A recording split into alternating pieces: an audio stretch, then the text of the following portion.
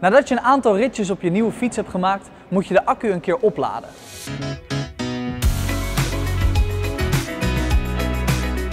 Wij adviseren om je accu niet volledig leeg te rijden.